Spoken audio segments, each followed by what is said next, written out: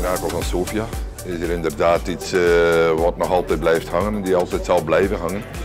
Ik heb hier uh, de wedstrijd gelukkig kunnen meemaken, jammer genoeg niet tot het einde. Ik heb hier een zware blessure opgelopen, waardoor de scheidsrechter zeven minuten langer heeft nagespeeld. Voor mij was het een klein feestje alleen in de kleedkamer. Het enige wat ik mij herinner eh, toen de wedstrijd gedaan was, ik denk zo'n 15 minuten nadien hebben ze mij uh, weggevoerd.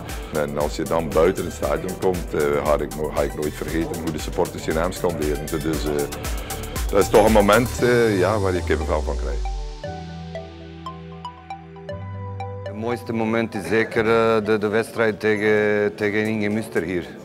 Toen wij kampioenen waren. Dus, uh, ik heb de eerste doelpunt gemaakt, 2-0.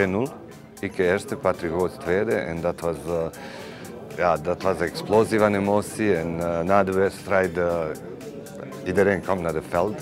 Dat was, dat was fantastisch. En dan wat kan ik ook zeggen, de, de volgende thuiswedstrijd was tegen Oostende. Oostende was tweede. We hebben in de tussentijd niet getraind, dus uh, gewoon party. Iedereen was bijna dronk.